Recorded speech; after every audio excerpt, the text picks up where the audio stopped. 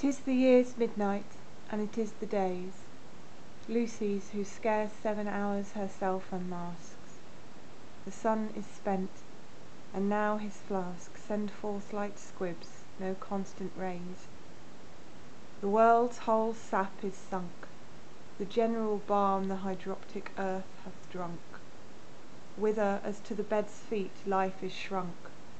Dead and interr'd, yet all these seem to laugh, Compared with me, who am their epitaph. Study me then, you who shall lovers be At the next world, that is, at the next spring; For I am every dead thing, In whom love wrought new alchemy; For his art did express A quintessence even from nothingness; From dull privations and lean emptiness He ruined me, and I am rebegot Of absence, darkness, death, things which are not. All others from all things draw all that's good, Life, soul, form, spirit, whence they being have; I, by love's limbeck am the grave Of all that's nothing.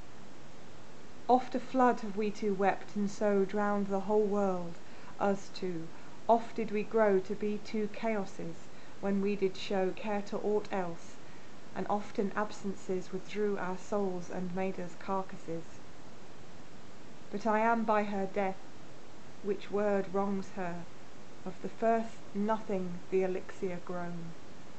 Were I a man, that I were one I needs must know, I should prefer, if I were any beast, Some ends, some means, yea plants, yea stones detest, And love,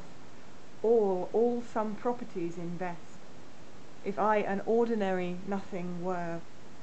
As shadow, a light and body must be here. But I am none,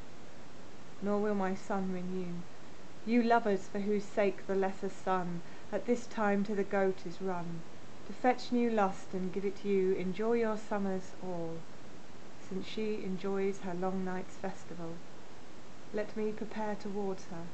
and let me call This hour her vigil and her eve, Since this both the year's and the day's deep midnight is.